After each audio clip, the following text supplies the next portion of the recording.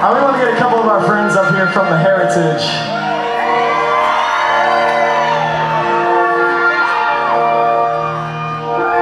Cass and Michael from the Heritage,